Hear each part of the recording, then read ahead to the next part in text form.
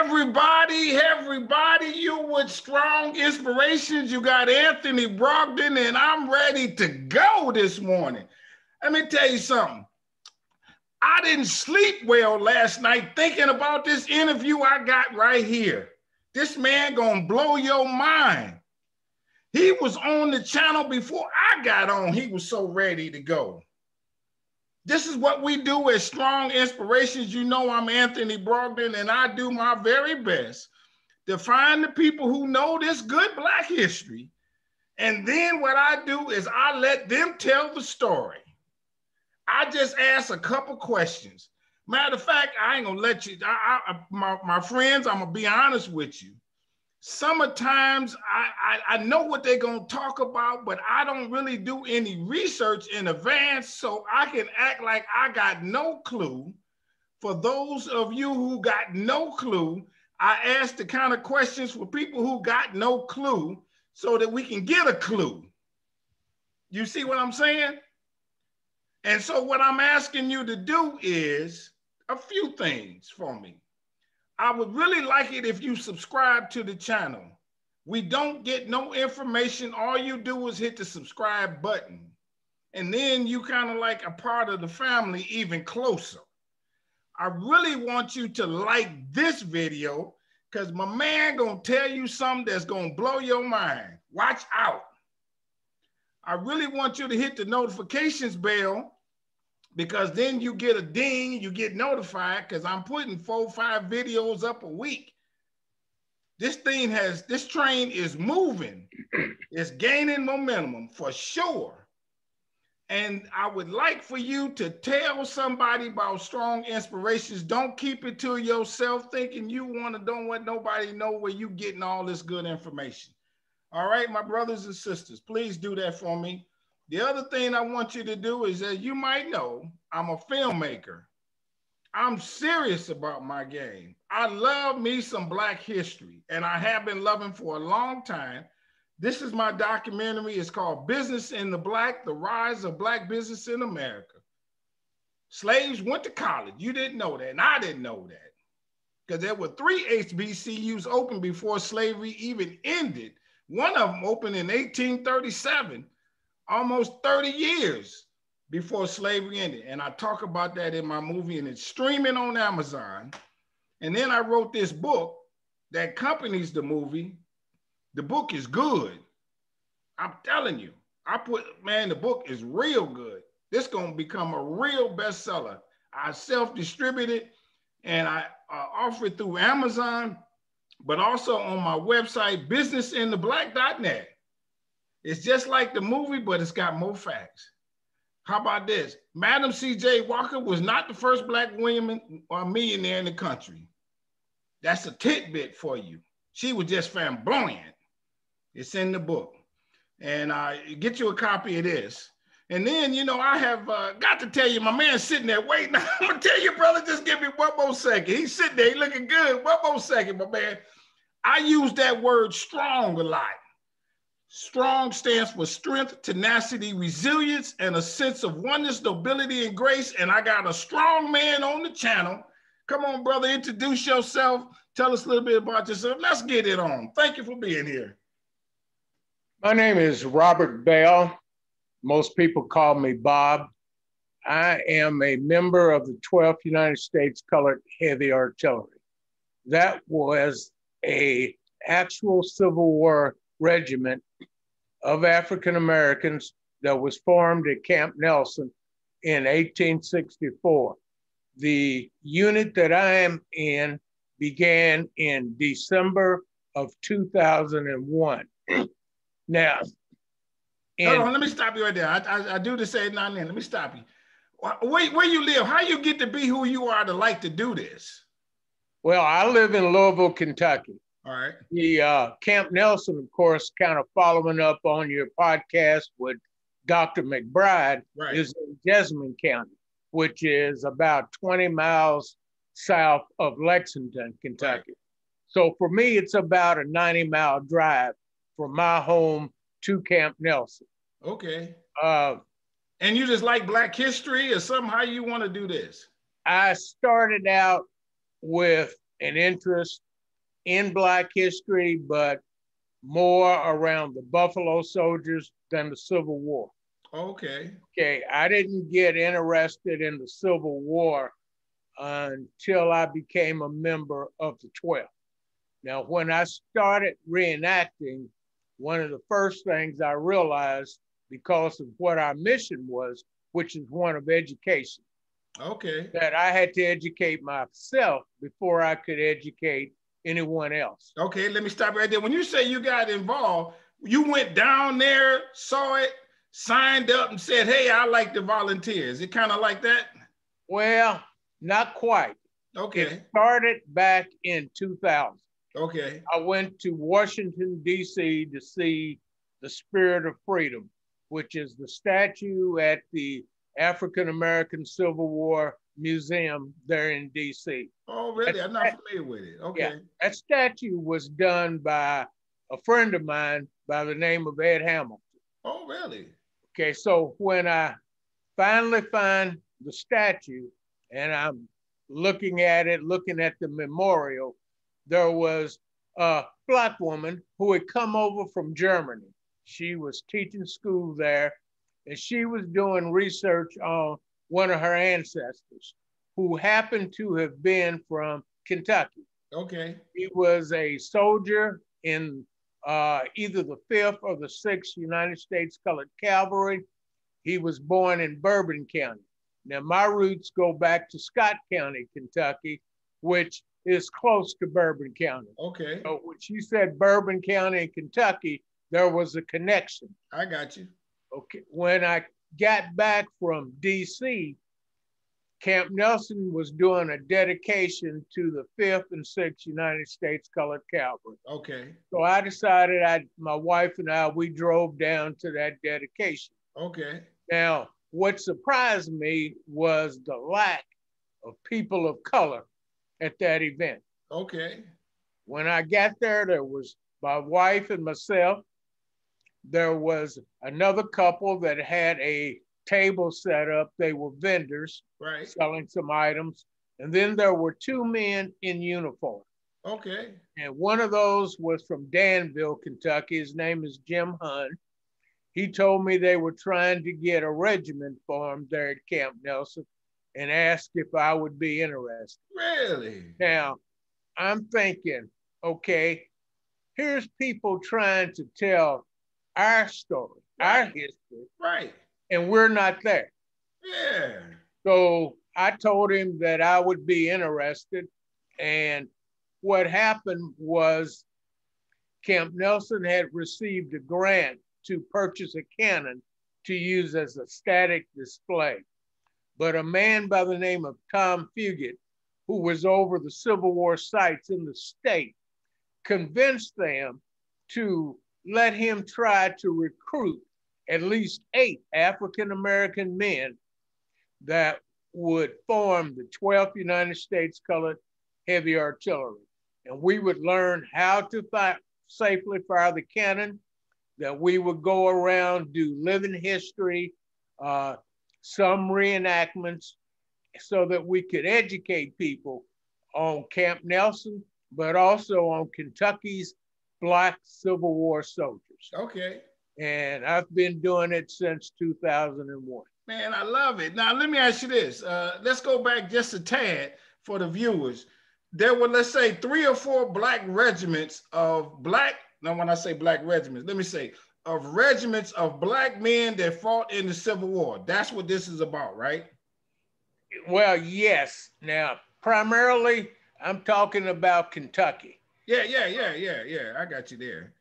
Okay. I I, do, I tell people I am not a Civil War historian. Yeah, yeah, yeah, yeah. I don't care who fought at Gettysburg per se. Right.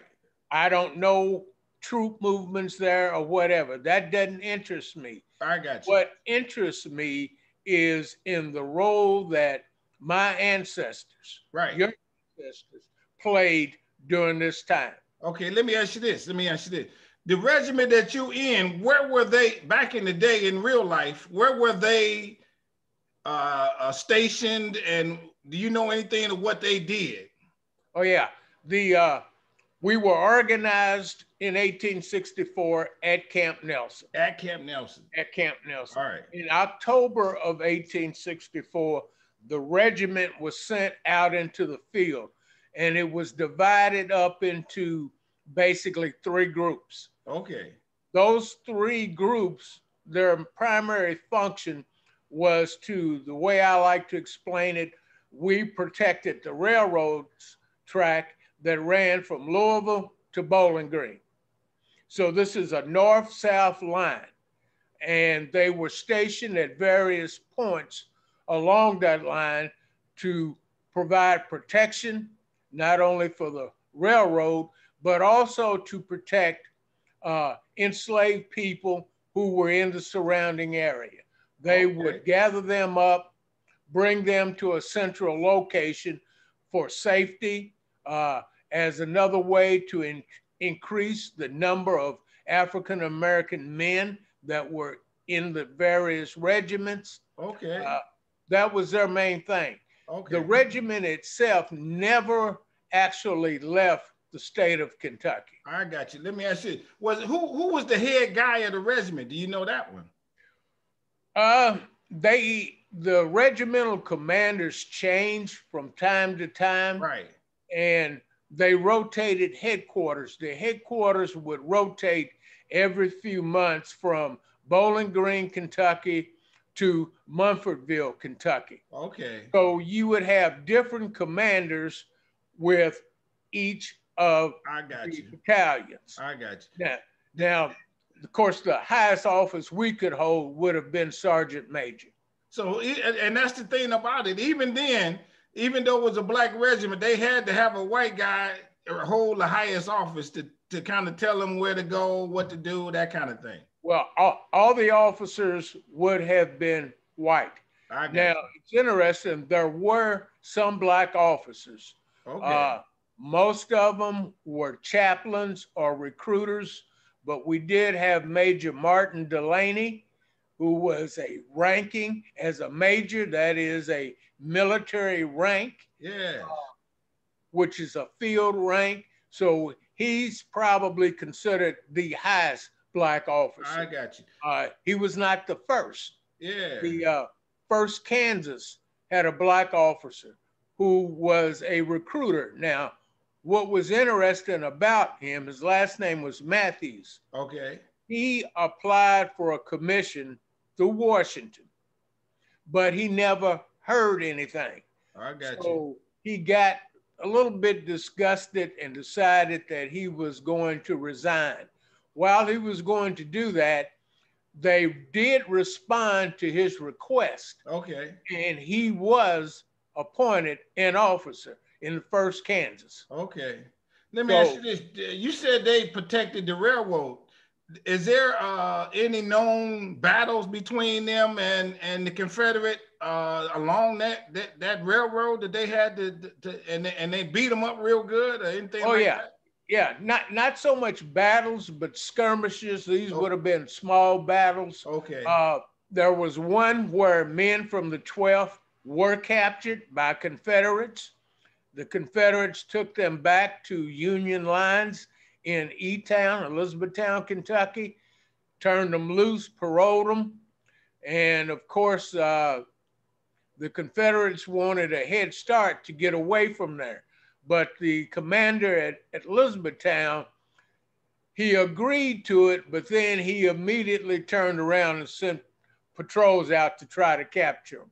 There were battles uh, down around Horse Cave where mm-hmm. African American men actually defeated them in skirmishes. Oh, uh, one outside of Bowling Green. So there were a number of these small skirmishes where they would have repelled Confederate attacks. Now, I did hear that when the Confederates saw a black soldier, they didn't hold him up. They wanted to kill him. They, you know, they they they couldn't just take him as a prisoner or something like that with the white guys.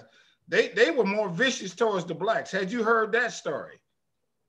There is some truth to that. There is uh if you start looking at that, it kind of goes both ways. Okay. Uh, particularly after the battle and massacre at Fort Pillow, because remember, Fort Pillow became one of the United States colored troops' battle cries.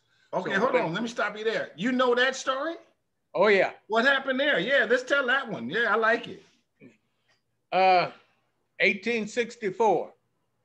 And, and I like to tell it this way Bedford Forrest and his cavalry invaded Paducah, Kentucky. Okay, let me stop. Who is he? And is that the Northern people or the, or the, or the Confederate? Confederate. The Confederate invaded Northern Kentucky.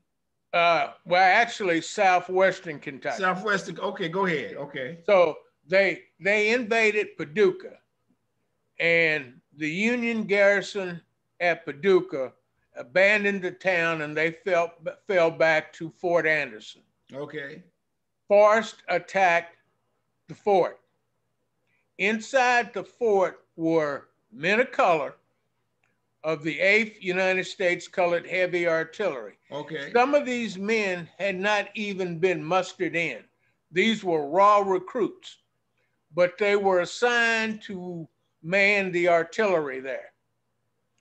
Their so, so what you mean is they wasn't even taught how to shoot it and all that stuff, right? Well, you know that's about all they knew. Basically, yeah. was how to shoot. Okay. And how to aim, but they were so good the Forrest could not take the fort. Now he tried to get them to surrender about three times, but each time they drove him off. Forrest then retreats from southwestern Kentucky, goes down into Tennessee, and along the banks of the Mississippi, I'm going to say it's so probably 50 miles or so northeast of Memphis. Mm-hmm. Give you an idea of where this fort is located. Right. On the banks of the Mississippi River. Uh, the fort initially had been a Confederate fort.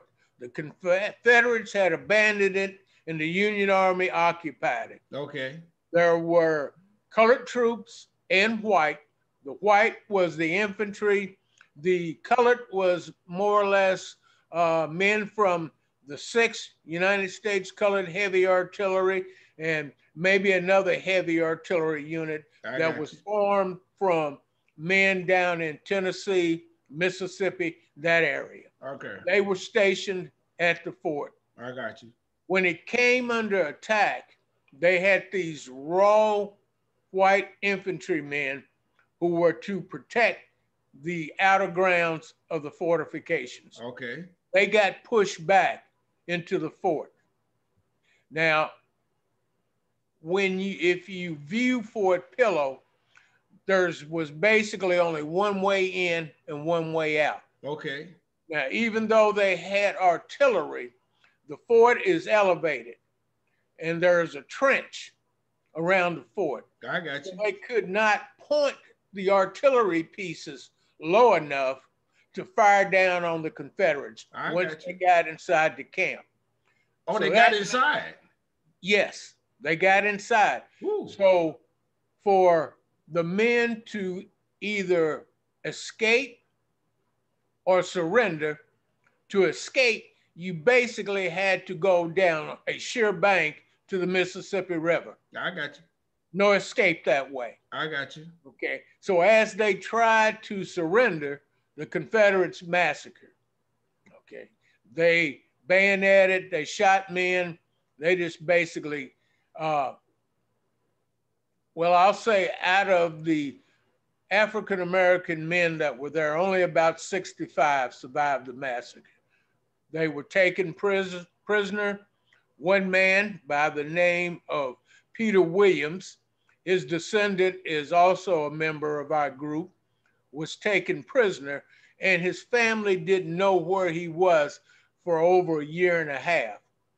He was finally paroled uh, and made his way back to his family, but uh, his arm had been injured and he could no longer use one of his arms. Oh, man. So, uh, very interesting story. The men were thrown in mass graves uh, several different grave locations. And then finally, they were, the mass grave was excavated, if you will. Yeah. They are reinterred in the National Cemetery in Memphis. You, you go back a little bit earlier. You said that there was one battle uh, where the uh, the black soldiers fought off uh, Fort Anderson. I think is what you said. Right. Uh, when, let me let me. I like this part. When we win the battle, that means that we a good shot. We see you out in the woods over there. We shoot so good that we can get you at more than you can get us. So we they they was good shots. That that that's what that means, right? Well, it means that they were, I won't necessarily say good shots. It meant that when they retreated to Fort Anderson, where they had artillery, right, they have now switched the battle. Okay, the battle becomes a different one. You've got cavalry and maybe some infantry going up against artillery in a fortified position. I got you. And of course, they would have had infantry there as well. So the odds of you winning go down. Now, you either have to have superior numbers or some other way to maybe outflank them to overcome the power of the artillery. And you got to remember, with some of these artillery pieces, you're talking a range of over a mile. You can't shoot a rifle accurately from a mile away. I got you. But I don't have to be that accurate with an artillery piece. Okay, hold on. All I got to do is come close. To, what's an artillery piece? Is that a gun that shoots multiple rounds? What's an artillery piece? No, we're, we're talking cannons. Oh, can oh really? Okay. All right. Now, a good cannon crew could fire two to three rounds per minute, depending on the type of projectile. Okay, if, let me stop you there. When you say cannon, are you just talking about one of them long nozzles with a big ball coming out the end? Is that the cannon? Yes. Oh, okay. By by and large, yes. Yeah, okay. All right. Now, they had a solid cannonball, which was called shot. They had what was known as shell, which was a hollow ball that had gunpowder in it and a fuse, and it would explode when it got to the target. I got you. Throwing, got you. throwing shrapnel. I then they had one called case shot. Case shot was a hollow ball that had lead, small lead or steel pellets inside it. Okay. Okay.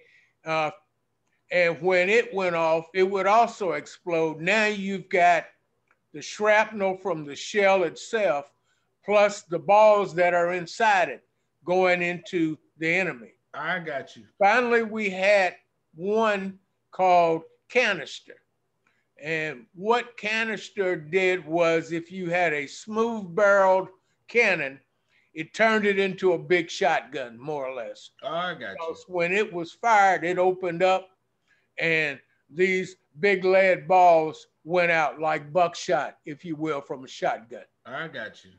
So I got the, you. the force of the artillery pieces was really the deciding factor. I got you. I got you. Now let, us say uh, in that instance, uh, let's say going to stay on, on the same fort, how many black guys might have been there? At I don't actually know, but yeah. at this point in time, the regiment was not complete. So I don't know what the numbers would have been. Uh, a typical regiment is about a thousand men, but with some of the heavy artillery regiments, there may be as many as 1,500. I got you. Uh, you know, when it's finally full. Uh, and now when they when they get them guns down there, them cannons and things, they got to transport them by the train. Is that is that how they transport them? Uh, no. It, well, it would depend on the size of it. Okay. But you had artillery pieces that could be moved by horses or mules. Okay. Okay. okay. They would uh, they would connect to what's called a limber.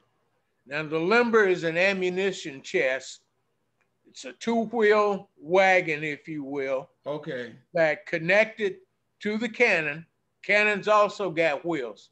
So uh, you would have six horses or four mules that would move that artillery piece. I got you. Okay. I got uh, you. Now, some of your larger artillery pieces would have to be moved by train. I got you. So now you, you you do this. What what uh, I know like you had to be kind of naive just understanding this. What what what realistic today terms have you learned doing what you do about them back then? That they were normal people. You know what I'm you know what I'm getting at? What what was your ha-ha moment doing what you do as, as a volunteer doing this? You know what I mean? The biggest thing is learning the impact that we had on the war itself. Okay. And then also the impact that those men had once they left the military and returned to their communities. Oh, really? Okay. See, that's that part of the story sometimes gets missed. These men returned home as heroes. Okay. May not have gotten the recognition during their time in service, but when they went back to their communities, now people are recognizing them you fought not for your own freedom, just your own freedom, but you fought for the freedom of all of us. You know, there, there are stories about women who would not marry men unless they had served in the United States Colored oh, Troops. Really? Oh yeah, oh, yeah, yeah. There are a few stories like that. Yeah. And the, thinking in my mind is that if you didn't have enough guts to fight for my freedom, yeah. Why do I want to marry you? I got you. I love it. In, in in Kentucky, because Kentucky was such this odd state during the war, uh, in Louisville, there was a man by the name of Thomas James who was with the uh, AME church. Uh-huh. He was put over the refugee camp that was located in Louisville, Kentucky. Hold on, let me stop. When you say refugee, refugee means don't. What is that? Yeah, what? Who, who's Ref- the refugees? Refugees are the wives, the children, the older people of the African American community who are trying to escape slavery. I got you. I got okay. you. Okay. But they have nowhere to go. I got you. Okay. The Emancipation Proclamation did not apply to Kentucky. So the only way these people got any sense of freedom was to either be kicked off their owner's property or they escape and they make it to union lines I where they you. can be protected. I got you. I got you. So, I got you. So you've got this huge group of African Americans in this camp uh, on the east end of Louisville, Kentucky. And Thomas James reported to a man by the name of General Palmer. Palmer was an abolitionist, totally against slavery. So one of the things that he did, he would tell James, go down to the refugee camp, see if you can find a woman who is not free yet, and marry her off to a soldier so that she could gain her freedom because in March of 1865, Congress had passed a bill that freed the families of the soldiers. So the wives and children were able to gain their freedom if their husband was a soldier. So he would he would marry women off mm, just okay. to give them their freedom. Mm, okay, I like it. Uh, let, let, me ask you this: When you doing your uh, enactments, uh, how about this? This might be kind of funny. You see one of them white guys over there. Now you supposed to shoot up in the air, but you say you get you get kind of caught up in the zone and accidentally hit him in the nose. No, no, I didn't mean to do that.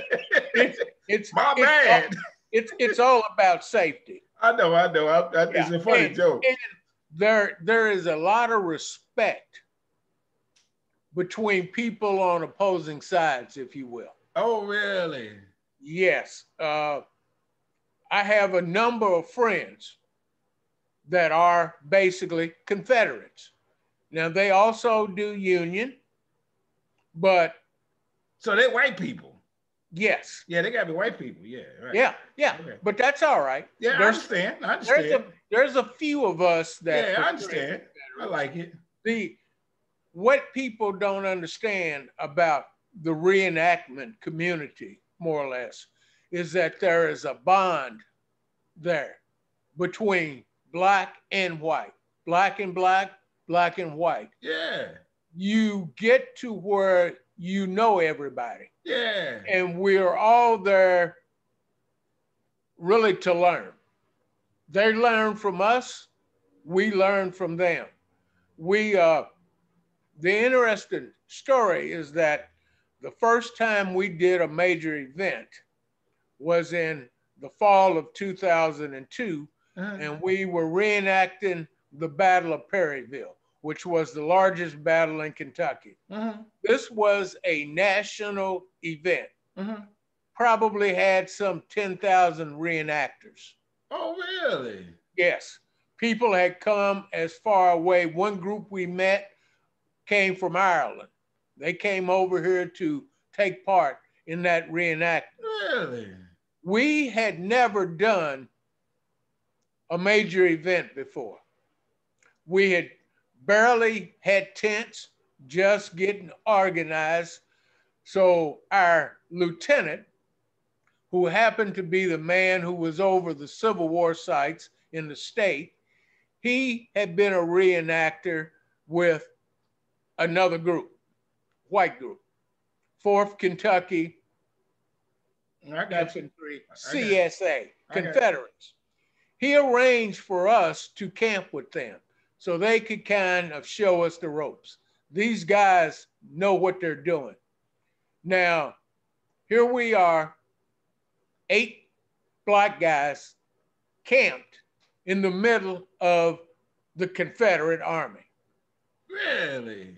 Really.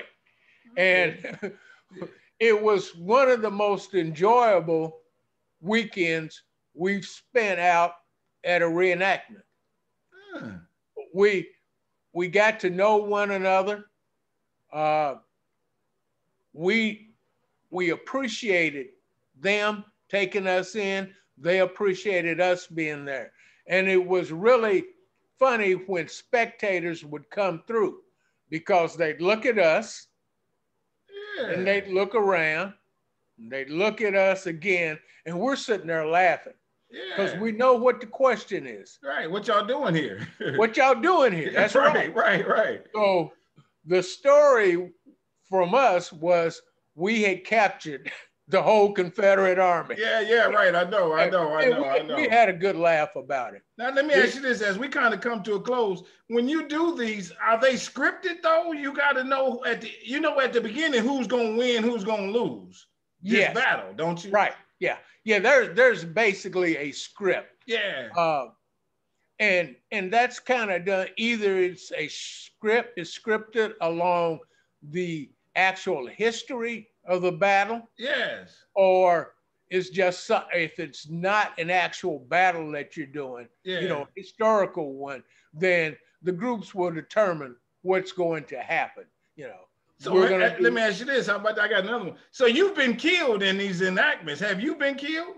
oh yeah yeah And so when when you get killed, you just say, okay, I, I got 10 minutes before I get killed because of the timing. And then they accidentally look like they shooting at you and you fall dead. Because nothing happened. You don't get hit with nothing. no no no yeah, you, the, the the script was in some cases they may say draw straws to say okay if you got this color straw the short straw you're gonna die at a certain point I got you. I got okay you. I uh, got you. it it pretty much in our case one of the battles we do where i do die Yeah. or have died Yeah. Yeah. is when they overrun our position I got you. okay So let- let- let- I got one more funny one. So your wife is sitting there and she's watching you and she's like, "Go, honey, go, honey! Don't let them kill you," and that kind of thing. And then all of a sudden you're like, "Hey, I got to go though." No, no uh, spectators uh, spectators are not really that close. Uh, okay. You have to keep them safe as well. Oh.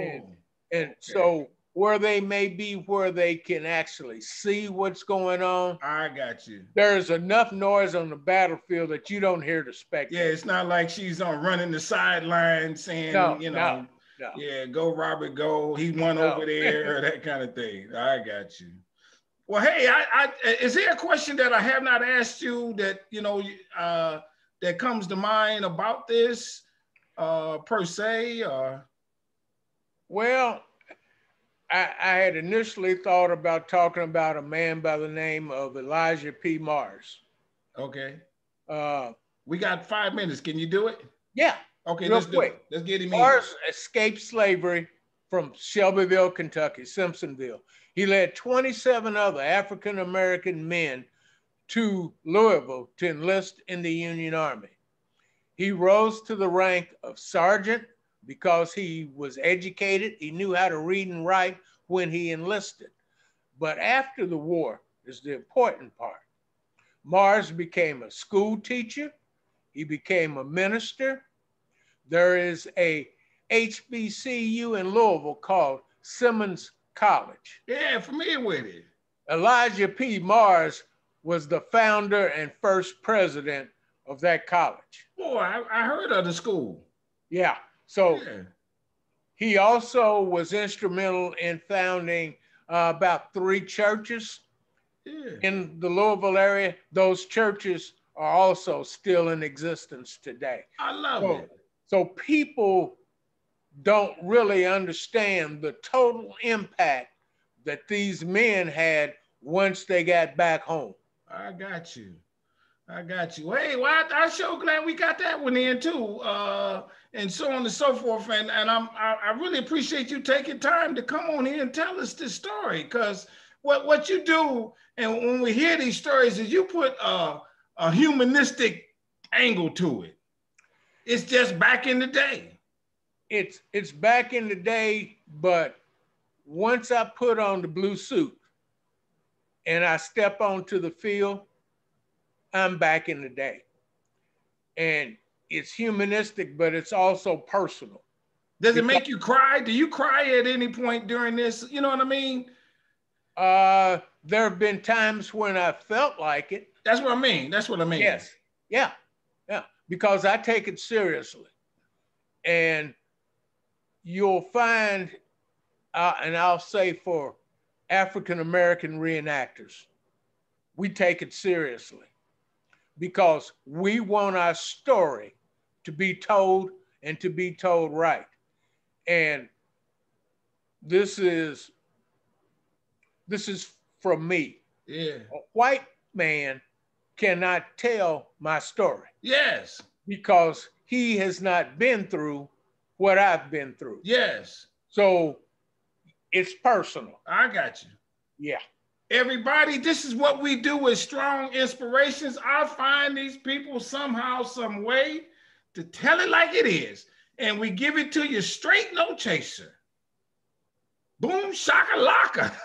Man, I'm so happy the guy came on the channel. Everybody, you hit that subscribe button. You hit that like button on this video. Hit the notifications bell. Tell somebody about strong inspirations. And to you, my brother, I say with all sincerity, I want you to stay strong, stay safe, stay on your grind. I love what you're doing, doing them enactments. I'm coming to see one of them, and I'm rooting for you. So give me one where you live, I'm coming down there. We're gonna I'm, we're gonna get some people to come down there. This is what we're gonna do here, Strong Inspiration. Watch out, people. I got some stuff for you. I got some big plans. September. The virus is over. I got big plans. We're gonna do some things. We're gonna come down here and see this brother right here and see some of them enactments. Um, again, I thank you for being on the channel. Everybody, thank you for watching it. Uh, we're gonna say bye-bye for now. Bye-bye. We out.